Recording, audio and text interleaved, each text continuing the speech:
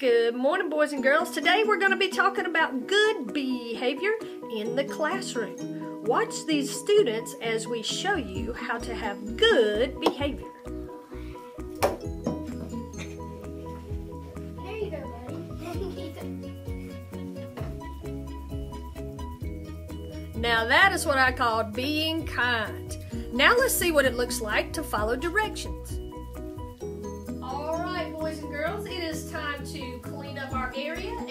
Pass your papers to Elijah. okay.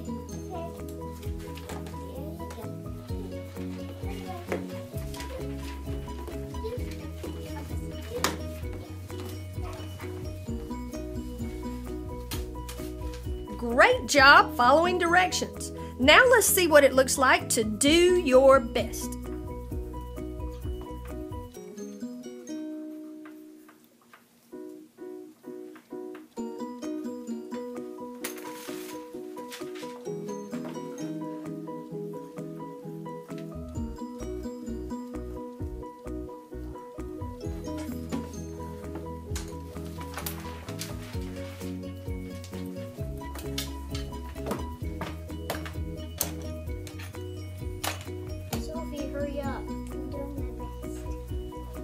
Was a great example by Sophie of doing your best.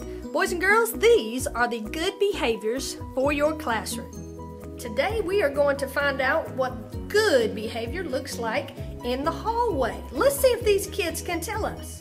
Travel quietly. Stay in line on the right side. Lily, go do this. All right, boys and girls, face the front.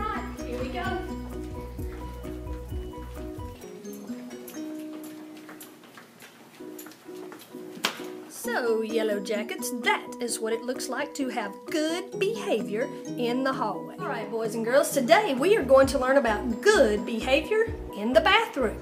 Make sure you do your job quickly, wash your hands, and always keep the bathroom clean, even if you're not the one who made the mess.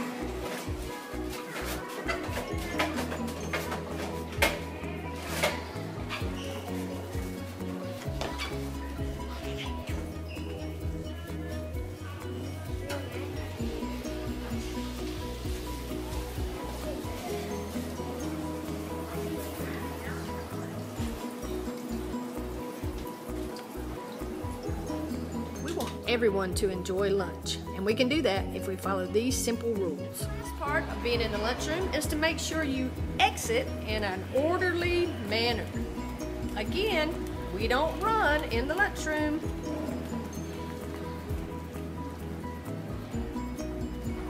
Finally, when we are leaving the lunchroom, make sure you stop at the blue line and then go to the window to put your tray away. The next person in line does not leave the blue line until the lady in the window waves them to come to them.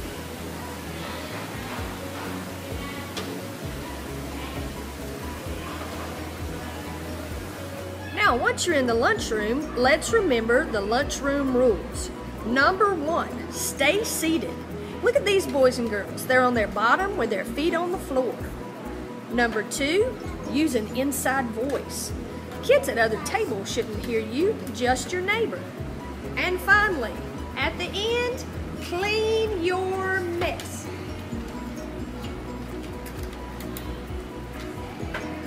Even if that mess is not yours, make sure your table is clean before we get ready to go. Finally, make sure you are picking up some healthy food.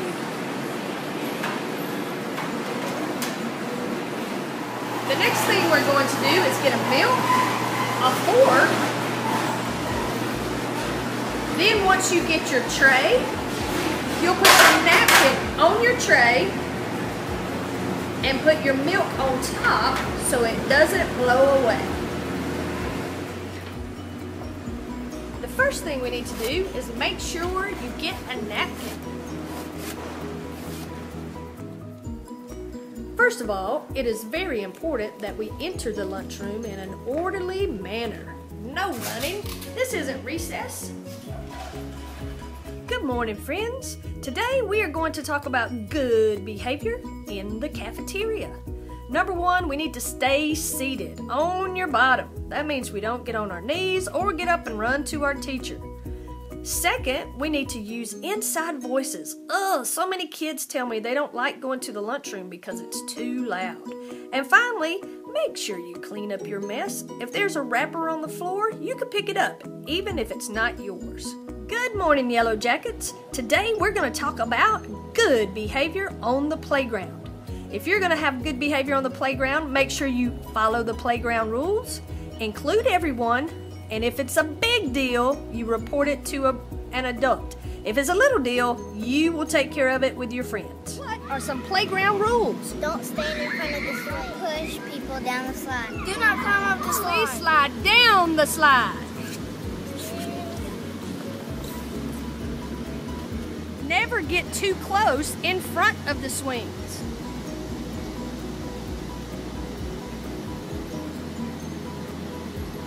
Make sure you include everyone.